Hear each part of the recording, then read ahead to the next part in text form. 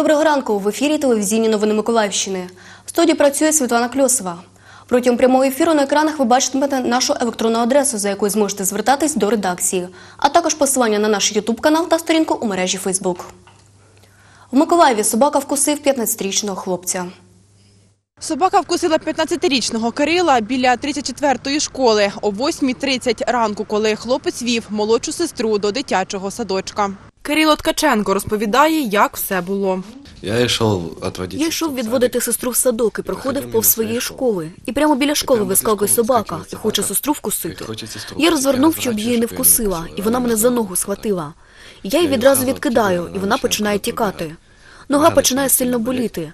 Відводжу сестру в садок, повертаюся додому, знімаю штанину, і там бачу, що нога покусана.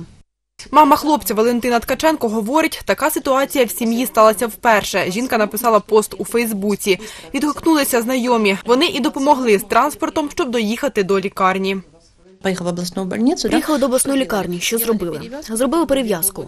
Так як були глибокі укуси, що вакцинувати не будуть. Протягом доби ми повинні знайти собаку. Якщо собака там не районна, не домашня або якась, або з якоїсь причини її не знайдуть, після цього для профілактики почнуть робити щеплення.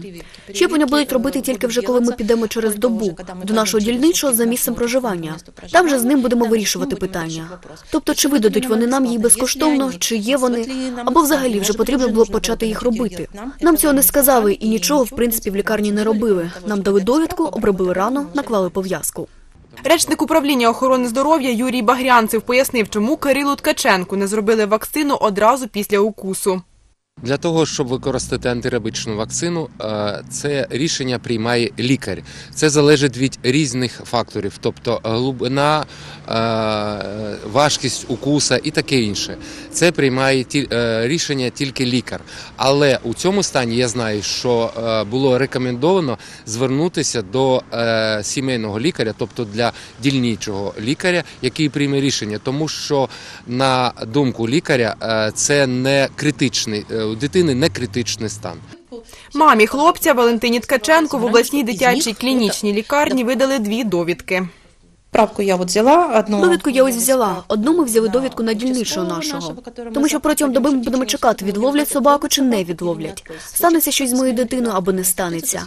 Тобто я повинна спостерігати, підніметься температура, що-небудь там почнеться робитися з раною або що-небудь ще. Тобто ми просто чекаємо. Друга ось на вилов собака, яку я повинна передати в центр. Тобто я повинна кинути зараз все і поїхати в центр захисту тварин. Директор підприємства Центр захисту тварин Олександр Голобродський говорить, що собаку почнуть шукати, щойно отримають від травмованого довідку про відлов та опис тварини.